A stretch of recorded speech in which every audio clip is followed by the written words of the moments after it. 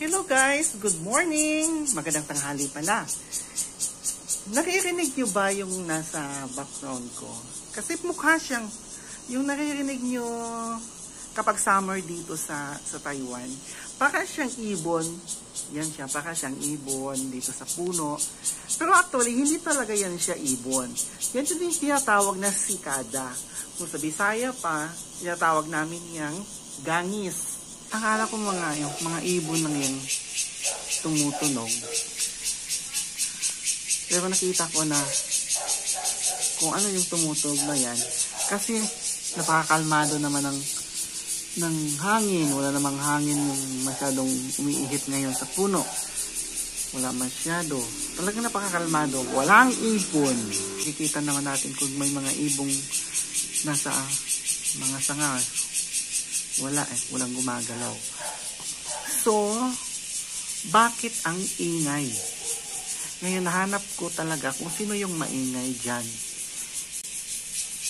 Ewan ko kung makikita dito. Isang insekto yan eh. Tinatawag na sikada. O di kaya sa Bisaya, gangis. Gangis. Dagko kay mga gangis binhi. Mauna sila mga saba kaayo o.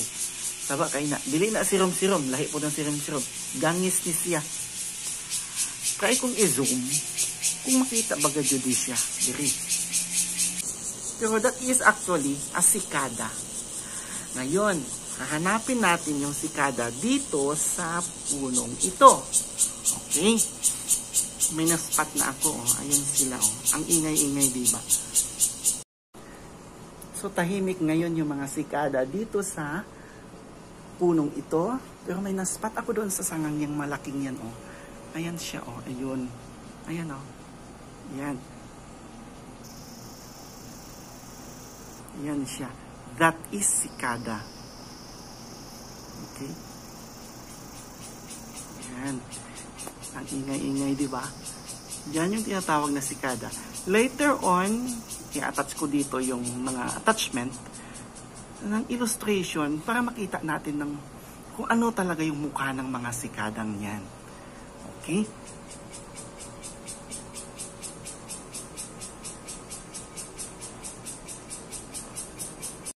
Ayan. Meron pa isa. May naspot na naman ako. Ayan o. Oh. Ayan. Malabo sa camera. Dahil video ito. O, oh, pasensya na. Ayan. Okay, meron na naman ako nakita. Ang dami nila dito sa punong to.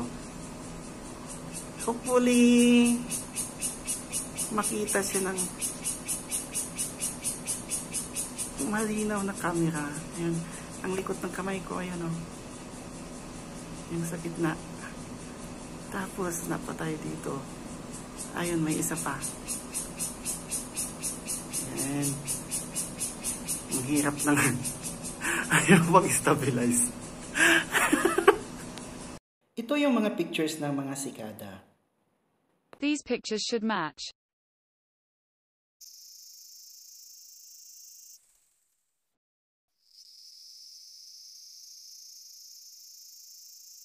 According to Wikipedia, Graptopsaltria nigrofuscata, the large brown cicada, is a species of cicada in the genus Graptopsaltria of the family Cicadidae found across East Asia, including Japan, the Korean Peninsula, and China.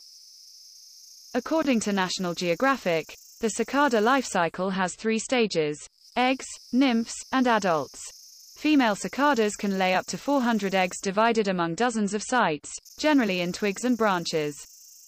According to National Geographic, most of these broods are composed of multiple species of periodical cicadas, but only those with a common lifespan. 12 broods follow 17-year life cycles, while the remaining three broods have 13-year life cycles.